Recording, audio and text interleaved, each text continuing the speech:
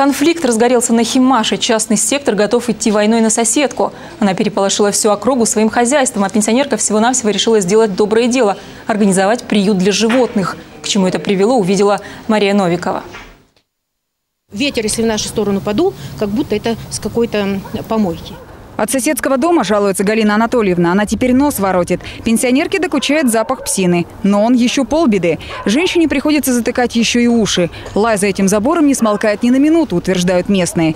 Ведь там, по их подсчетам, живет полсотни собак.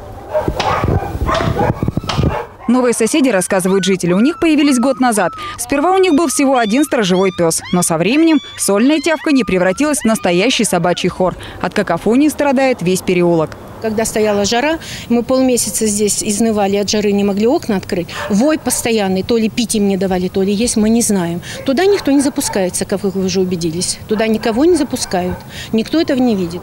Сначала владелицу собачьего приюта просили по-человечески утихомирить питомцев. Однако разговаривать женщина отказалась на отрез, точнее, на отмаш.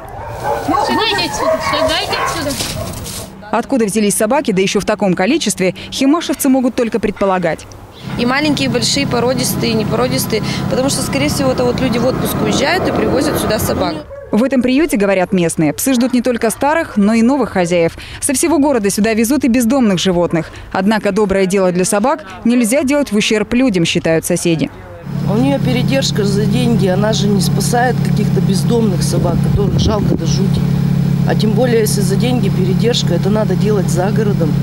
Вот как зеленый бор этот стоит за этим, за шарташом. Там они стоят, они лают целый день, но они не мешают никому. А здесь они сейчас залают, вы услышите, вы пните поворотом. По словам екатеринбургских зоозащитников, именно их активистка организовала приют. Хозяйка проживает в частном доме, а поэтому вольна разводить там кого угодно. Поэтому соседям, чтобы не жить как кошка с собакой, стоит пойти на уступки. Договориться, я думаю, что единственный способ, потому что законодательство у нас не существует, которое регламентирует количество животных, которые человек может у себя на территории содержать.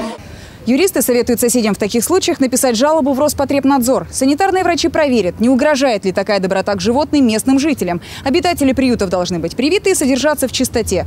Лишь тишины добиться от лохматых жителей очень сложно. Измерить уровень шума в частном секторе практически невозможно. Мария Новикова, Сергей Едигарев. Новости 41 канала.